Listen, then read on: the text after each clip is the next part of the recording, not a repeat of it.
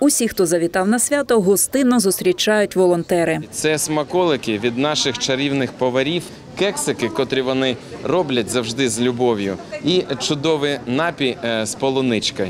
Другий поверх академічного театру опери та балету поступово заповнюється відвідувачами, але прийшли вони не на виставу, а відзначити Валентинів день. Ми вирішили в день усіх закоханих, день святого Валентина, подарувати частинку свого серця е, багатодітним родинам ВПО. Смаколики та українські пісні запрошені програмою задоволені. Ми були змушені виїхати. У нас була прифронтова зона. Так е, також вона є і залишається.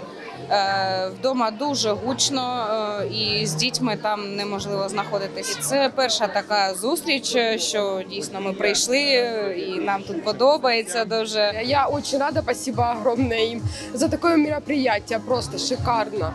Вам нравится? На свято завітали 300 людей, усі з дітьми. Для військових всі разом створювали Валентинку 2 на 3 метри. Наталя з Донеччини каже, долоньку на серце розміщує з почуттям гордості та вдячності українським захисникам. Вони зараз там захищають нас. Дякую. Дорослі могли отримати кваліфіковану консультацію від психолога. Ці зустрічі є вкрай корисливо. По-перше, тому що людина розуміє, що вона не самотня. Тобто не лише в неї є такі проблеми. Вона чує розповіді, розкази інших людей, і вона розуміє, що інша людина так само відчуває біль. Це означає, що так само інша людина може її підтримати. А діти були зайняті творчістю. Для них тут зробили аж 9 різних локацій.